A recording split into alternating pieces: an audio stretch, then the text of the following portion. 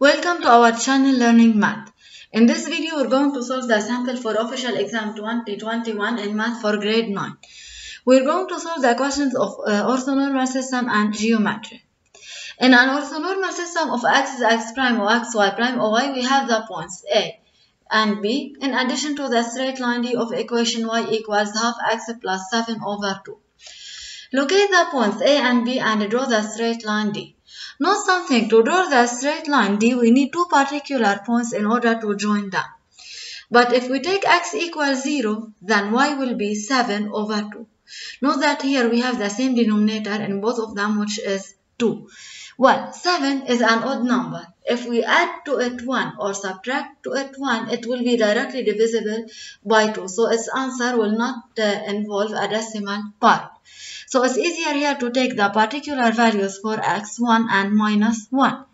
Well, for x equals minus 1, y will be half times minus 1. It's minus half plus 7 over 2, it gives us 6 over 2, which is 3. So the first particular point is minus 1, 3. Now if we take x equals 1, then y equals half times 1 plus 7 over 2 which gives us half plus 7 over 2, 8 over 2 equals 4. Then the second particular point is 1, 4. Now we just plot these points minus 1, 3 and 1, 4. When we join them, we get the straight line D. We also locate the points A, 3, 0 and the point B, minus 1, 8. Now write an equation of the straight line AB. We have several methods to write the equation of a straight line. The first one is to use the formula y minus ya over x minus xa equals yb minus ya over xb minus xa. We can use it since we have the coordinates of a and b are completely different from each other. Now we have the coordinates given, we can just replace them in the formula. We have ya is 0, xa 3, yb8, xb minus 1, we just replace them by their values. So y minus 0 over x minus 3 equals here 8 over minus 1 minus 3 gives us minus 4. Same sign, we add them and put the sign. Well, 8 over minus 4 plus over minus minus 8 over 4, 2. So y over x minus 3 equals minus 2. Now if we move x minus 3 to the other side, we have divided by it becomes times. So y equals minus 2 into x minus 3. Now we can just expand them, so minus times plus minus 2 times x, 2x. Also minus times minus plus 2 times 3, 6. That's y equals minus 2x plus 6. Therefore, the equation of the straight line AB is y equals minus 2x plus 6. Another method which is very important. We have the coordinates of A and B.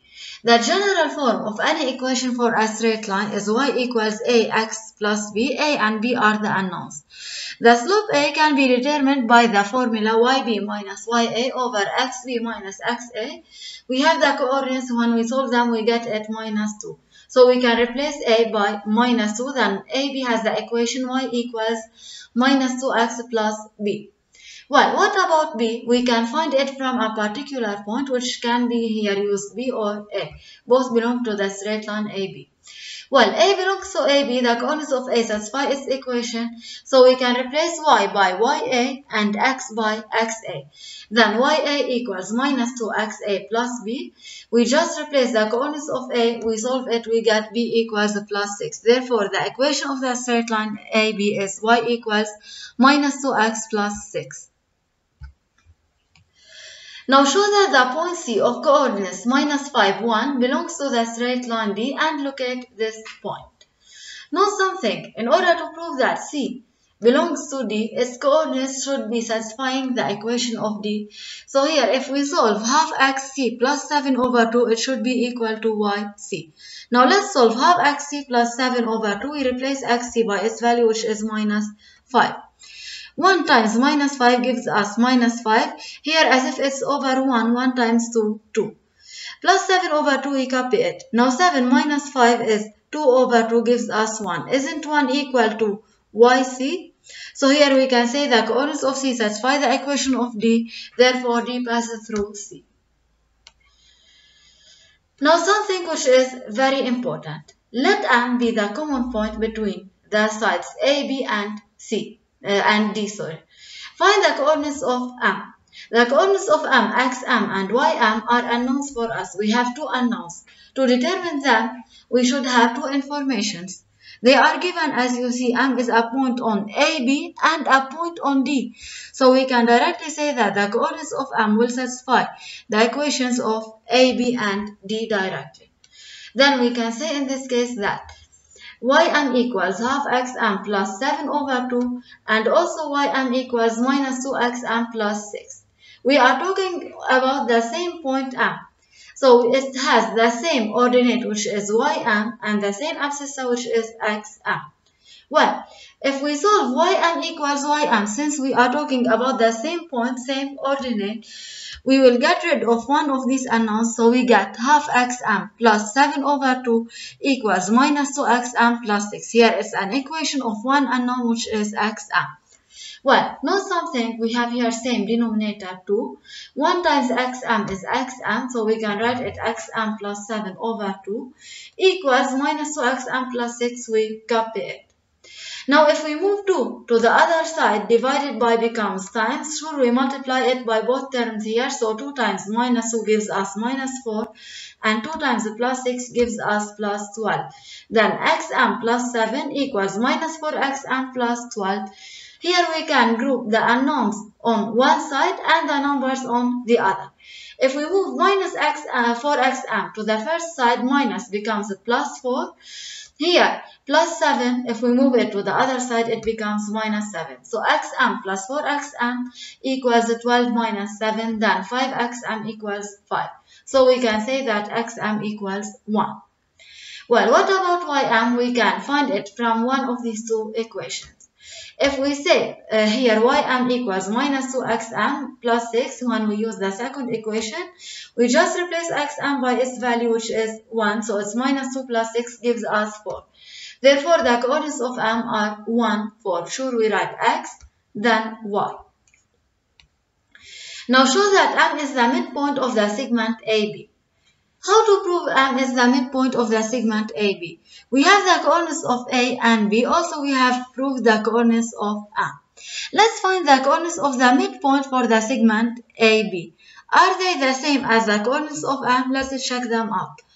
If we solve xa plus xb over 2, isn't it 3 minus 1 over 2? It gives us 2 over 2 which is 1. Isn't 1 equal to xm?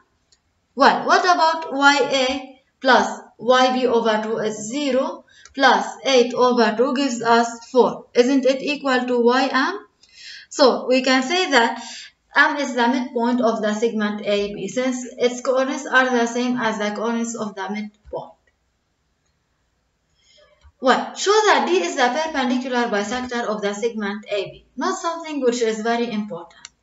We have given the equation of AB. Why we want it? To prove perpendicular first, we need the product of the slopes that should be minus 1. We have the equation of dy equals half x plus 7 over 2, so its slope is half. Well, what about the slope of the straight line AB? We have just found its equation y equals minus 2x plus 6, so the slope of AB is minus 2.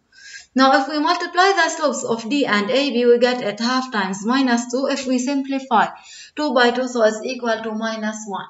So here we can say that the straight line D is perpendicular to the segment or the straight line AB. Well, note something.